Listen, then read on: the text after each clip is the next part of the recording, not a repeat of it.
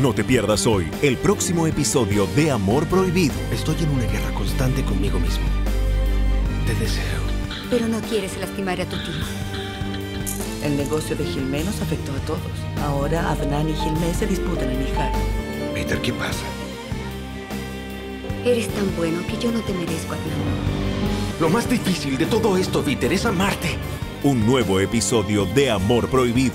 Hoy solo por Canal de Drama.